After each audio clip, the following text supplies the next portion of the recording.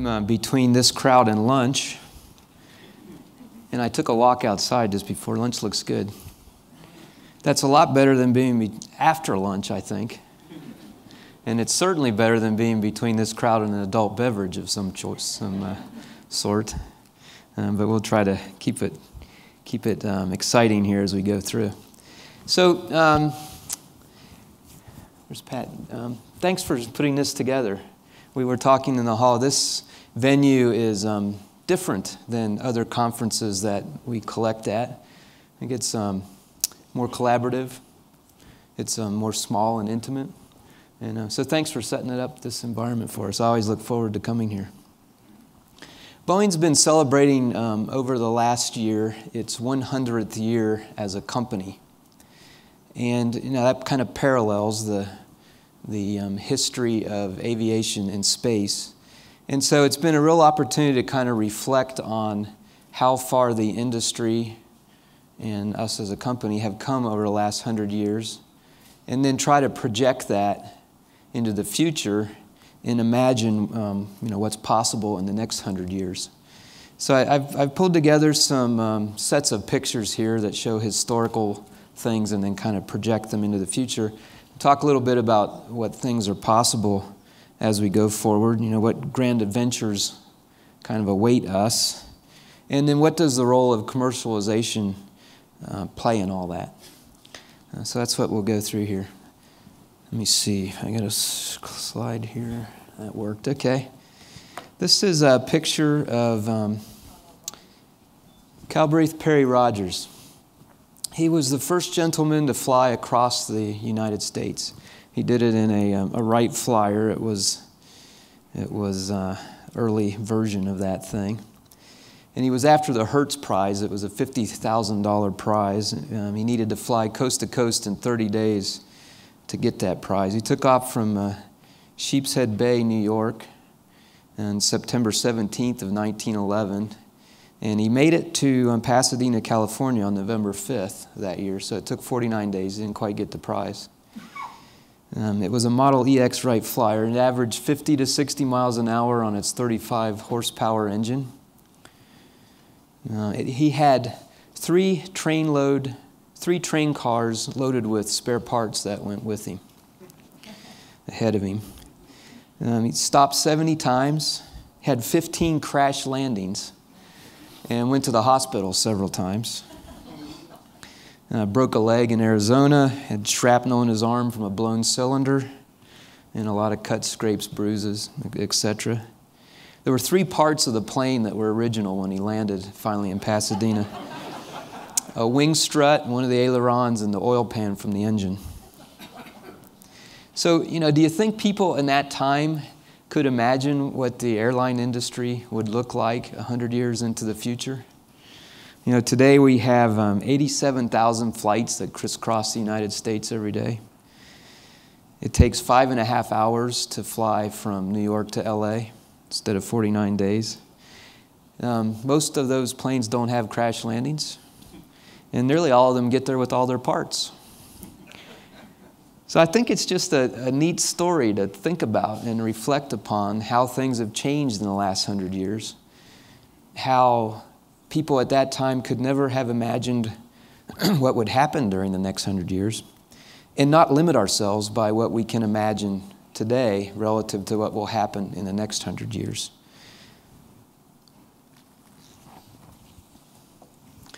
So here's, here's just the kind of history of, of some commercial airplanes. I, I selected um, some Boeing airplanes. The first one is Bill Boeing's first plane, the Boeing Model 1. It was um, flown in 1916. Um, the first jetliner, the Boeing 707, is shown there. The, the company was bet on that plane. It, it was um, a commitment to invest $16 million, which at that time was a heck of a lot of money. That doesn't sound like a lot now, but it was huge. It was equivalent to all the profit the company had made since the end of uh, World War II up until that time. So it was a huge amount. And then that, that led to the 707, which um, in just two years, that plane eclipsed the travel by rail and sea that was ongoing at the time. And it was really the beginning of the jet age. And then you, you know you can fast forward to the um, well, I'll go through Space Shuttle. That was an amazing um, airplane of sorts. Uh, flew in 1981 for the first time. 135 missions, as um, most people in the audience know. We assembled ISS, just an incredible vehicle. And then the 787, um, who would have imagined 100 years ago that we would have a factory where fiber and glue went in one end of the factory and chunks of airplane come out the other end of the factory? And we end up with this really efficient, um, reliable vehicle. So if you kind of combine the shuttle and some of the, the jet planes, you can imagine a future where you have a plane a space plane that, that might be a point to point kind of plane that skips into space on its way, or perhaps just goes at high Mach numbers through the atmosphere. But certainly there will be commercial airplanes in the future that, that connect the world. Um, not quite as dramatic as 49 days to five hours, but, but nearly. And so I think uh, there's a lot to think about there. How about transportation to low Earth orbit? Um, you know, so we started with the first um, John Glenn's flight in the early 60s, and that was 50 years ago. And we've progressed through Gemini Apollo, and I showed a picture of Starliner. There are, of course, other vehicles being developed for um, commercial travel to LEO as well. But I think the important thing here is that we're at transition to at least a somewhat commercial kind of environment for low Earth orbit transportation. I think we'll look back at this point in time as, as when that happened. And we've been doing this mission for a long time, like I said, you know, over 50 years. So the mission's understood. We're in certain new technologies, new business models, and that's allowing us to come up with um, what's the beginnings of a, um, a commercial activity.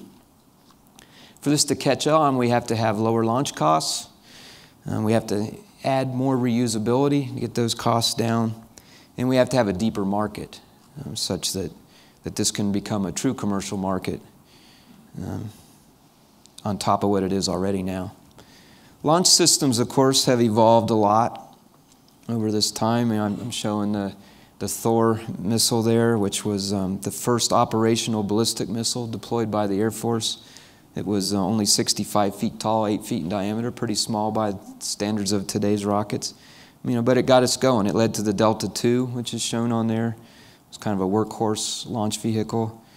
Um, the Saturn V was a, a huge, um, a huge increase in the capability of rocketry.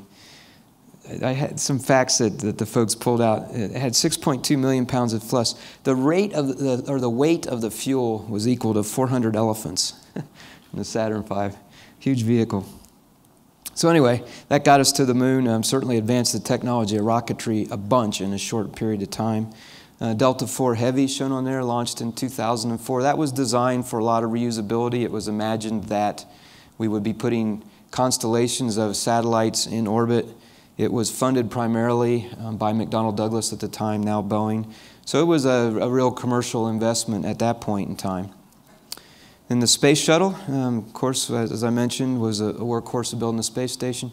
I think we forget that the space shuttle was reusable. You know, the vehicle itself flew a lot of times. The SRBs, the solid rocket boosters, were recovered and, and refurbished and flew. The only piece that we really threw away was the external tank.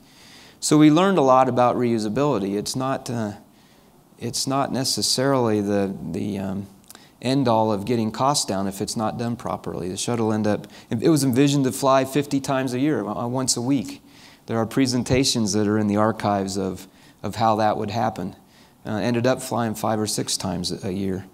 And so um, reusability is something that we really need to focus on to make economical. It, it doesn't happen just because something is, is reusable. And then that's all led to um, a large vehicle called the SLS, um, which is just a, incredible machine. Um, it's going to launch in 2018. The first flight tanks are built at Michoud. It will come together and, and move to Stennis in 2017 for its test firing and then down to the KSC um, for launch. And it'll be the workhorse that takes large pieces of the complexes that we're going to send back to the moon and onto Mars into orbit so that um, we can do that. And then, of course, there are several commercial entries into the market. Um, the SpaceX Falcon 9, Blue Origin uh, family of rockets that are coming online that will have a real impact, I think, on where we're going in the future. And DARPA just awarded a contract for a vehicle called XS-1, which is a, a, a flyback booster that's the program's designed to launch it 10 times in 10 days. That's a real challenge, and we'll be working towards that goal going forward. So, lots of, of um, things in the future on launch systems. As we all discussed, the key is to get the cost of launch down so that we can enable uh, more use, more commercialization of space. LEO destinations.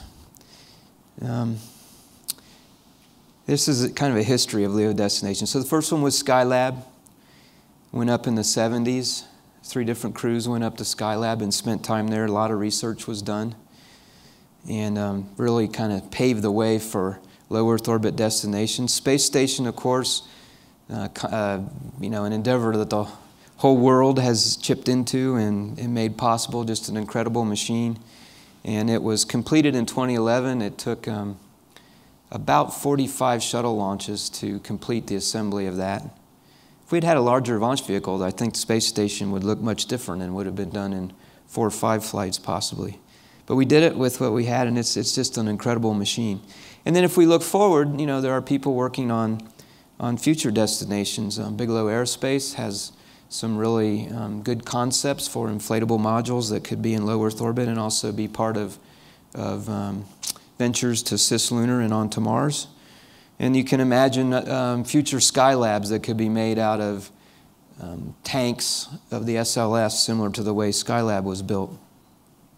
The key to all this, and I really appreciated the comments that Bill Gerstenmaier shared with us this morning, because the key to all this is working on the demand side of low Earth orbit commercial utilization we are really good at the supply side. I mean, we all get excited about building launch vehicles, about building space transportation vehicles, about building destinations.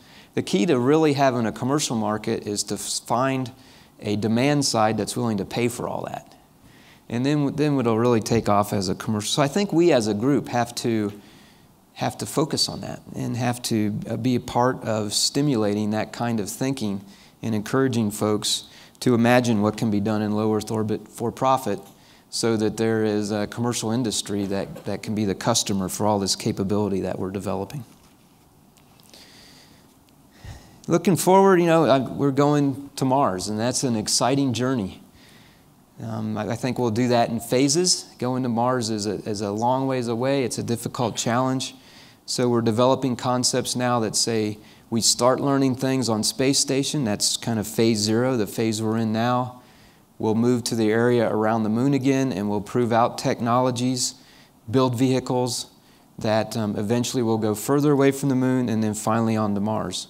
The first pieces of that are in production, the SLS Orion. The next pieces are a habitat and a solar electric propulsion capability that will be needed, and those are in kind of um, development, uh, early development phases. NASA is running a series of broad area announcements where there are six companies participating in what a habitat could look like. And they'll take the best ideas of that and, and fuse those into a, a detailed concept for what a cislunar outpost would look like. And then we'll be on to that adventure. And then we'll work on landers and, and um, descent landing kind of capabilities that will be needed uh, for the area of Mars. This is a long journey. And we got to get started though, and we're doing that, and we're on the way. So it's, a, it's an exciting adventure.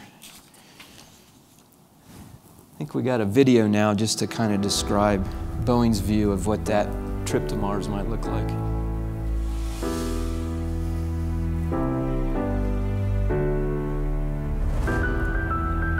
Ever since I was a little kid, I wanted to be an astronaut.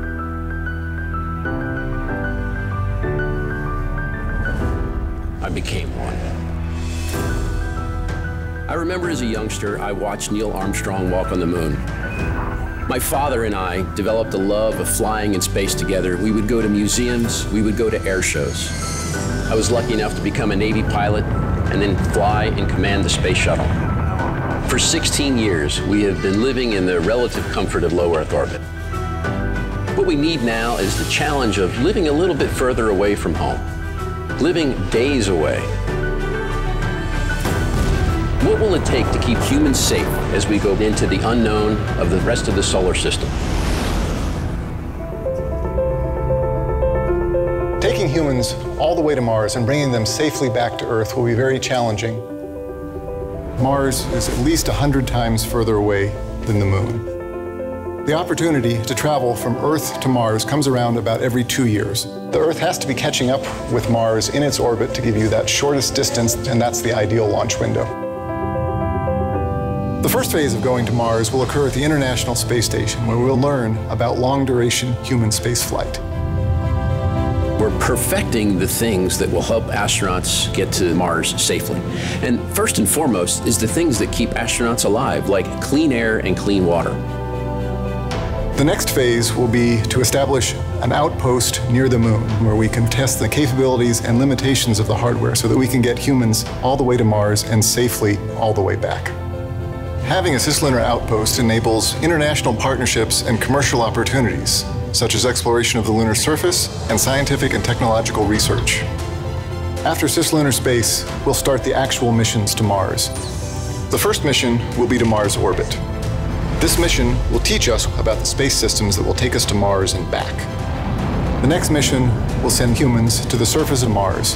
The crews will undertake detailed scientific research and investigation they will start to unlock the secrets of Mars. The race to the moon captured the world's attention. Building the International Space Station united 15 nations. The journey to Mars will inspire all of humankind as we push deeper into space than we ever have before.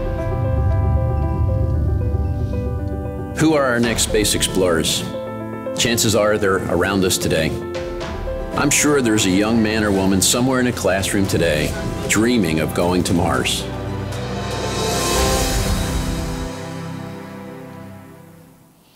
Okay, that's going to be an adventure.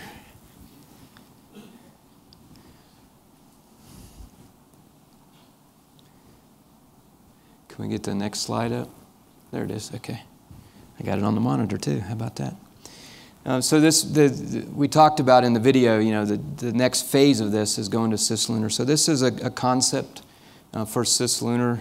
Um, we'll see how the whole thing sorts out, but this is an idea of how we could build a complex in the area around the moon. It could have participation from internationals, certainly building parts of those modules. And I think it can have participation from um, what we refer to as commercial entities.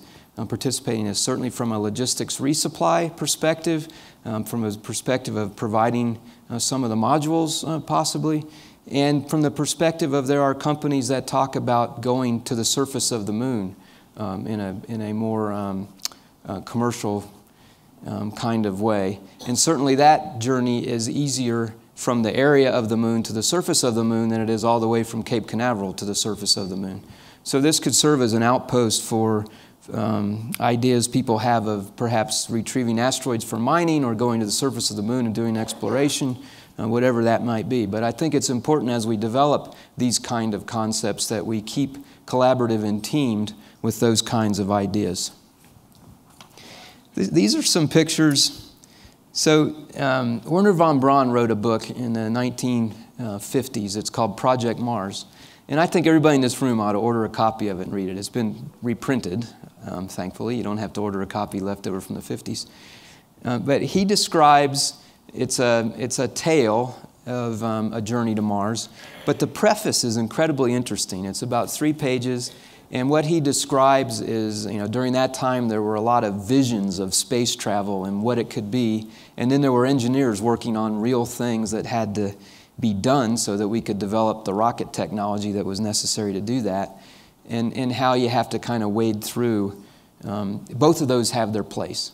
You know, it's real important that we have visions that inspire us, that keep us going, and then we got to go to work on the practical things that, that we can actually implement and do.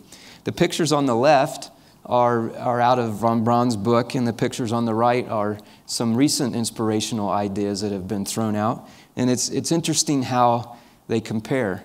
I think it is real important that we embrace this inspiration and leverage that and use it as the catalyst to get us on the journey to Mars. And I encourage, I really do encourage everybody in the room to get a copy of, of that book and, and, and read and get a sense of, of where we were in the 50s and um, where that brilliant rocket scientist, what his vision was for the future. It's really good. So, what are some other things we can do in the future? Hey, here's a picture of a vehicle on Europa. Europa is um, the moon around Mars. Covered with an icy crust. It's got an ocean underneath it. Everywhere on Earth where there's water, there's life. Is there water in the ocean of Europa? Chances are, you know. Um, but going there, I think, in the next hundred years is something we will do, and I think we'll find life there. Personal view. And what will that do to us? You know, what will we think about ourselves if we discover life there on Europa? There's a lot of discussion, particularly in ESA, about a concept for a lunar village, certainly doable in the next hundred years, having um, a more permanent presence on the moon. The word village connotates that there will be um, lots of different countries involved in this, and so that's certainly something that can happen. Putting a radio telescope on the far side of the moon where it's shielded from radio wave interference from Earth so that we can listen into deep space and per, perhaps hear um, radio signals from intelligent life um, would be a, a, thing that could be done. That's certainly possible in the next hundred years. And then, and then finally, um, there are concepts for building a star shade that you can look through the center of with a telescope, and the shade blocks out um, distant suns so that you can see the exoplanets around those suns. And we can, um, with that kind of a system, take a picture of a planet that looks like Earth. That'll be a big deal, too, I think, when we can see planets that um, just look um, totally habitable, and we can imagine that there would be life there. So I think all those things are, are doable in the next hundred years. We've made an incredible amount of progress over the past hundred years um, in aviation and in space. We've achieved accomplishments that were unimaginable by the people that were thinking about this stuff 100 years ago. I think we sit on the precipice of, of um, really starting commercialization of space, particularly low Earth orbit um, and setting out on grand missions of discovery, you know, through our solar system and then virtually through the universe. Um, just take the first five years of that and think about what it's going to be like five years from now. We'll be flying commercial crew. SLS will have launched.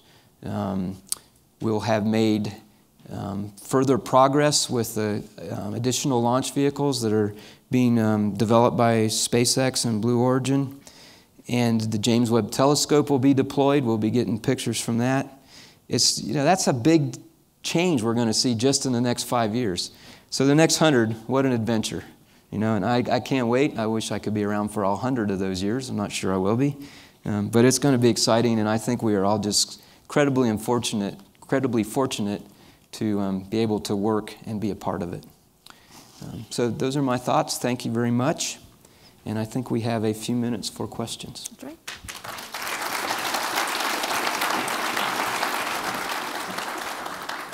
So, John, um, well, first of all, thank you very much for that presentation. For, and congratulations on a 100 year anniversary of Boeing. That's, that's very exciting. And I know you've been involved, uh, or Boeing has been involved in space for over 60 years, so it's also exciting to see what your, what your visions are for, for the future.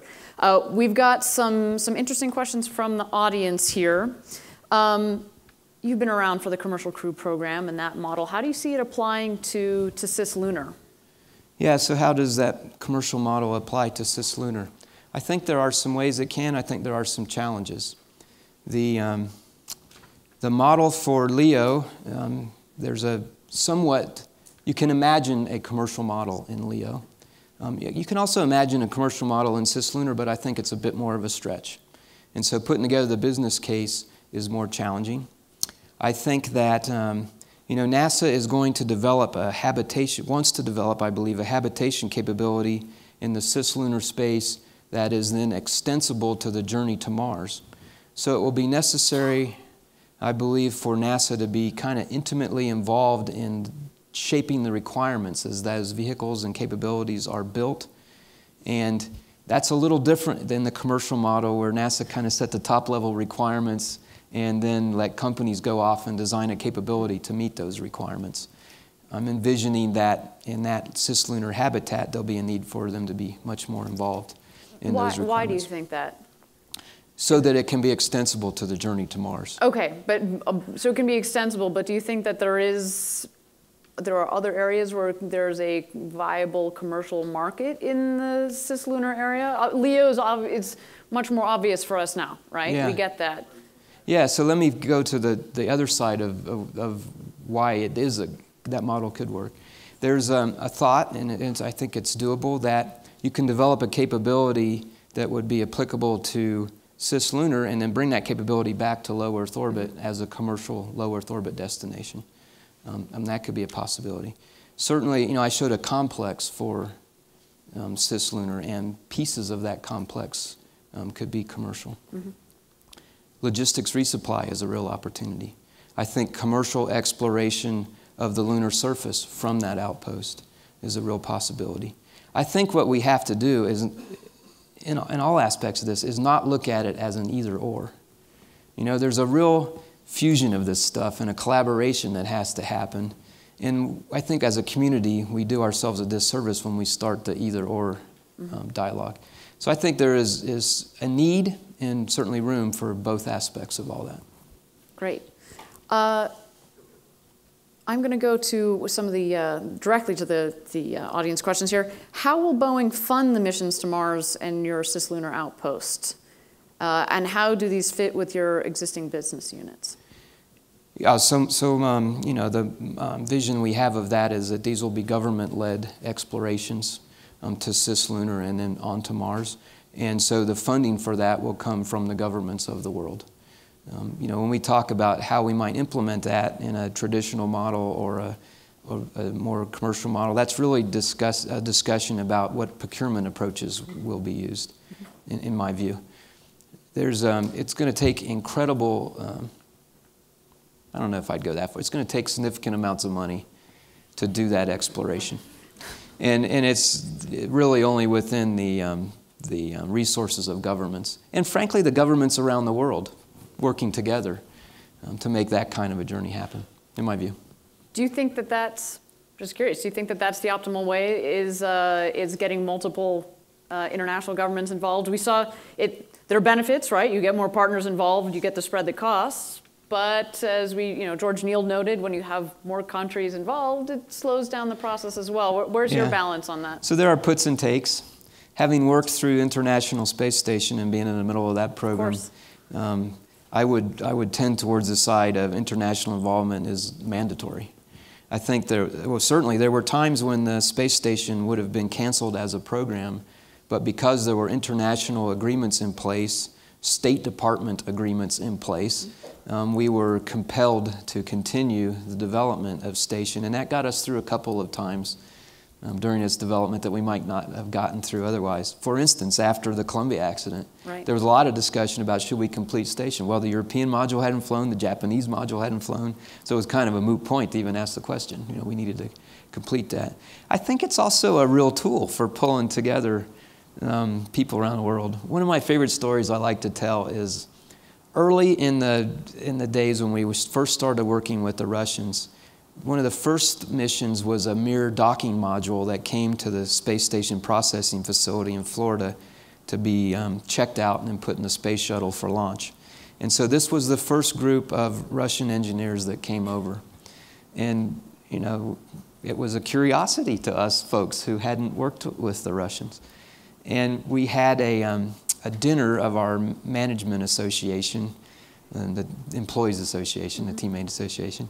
And the Russian um, folks came and were a part of that dinner with us and, and spoke. And so I was sitting at a table with um, three Russian gentlemen, and we had an interpreter, and we were conversing. And it was kind of stilted until um, I found out that one of, one of the other guys and myself both had daughters, and we both hated their boyfriends. so, you know, instantly we were just two buds. and, you know, that kind of thing is, is important. We've learned to work together with people around the world of all different cultures, engineers that grew up designing intercontinental ballistic missiles and pointing them at each other now are sitting at the same table designing a space station. And I, I think we underestimate the importance of that. Certainly, as a diplomatic tool, it was a big deal. And I think going to Mars is, is a similar thing. Excellent.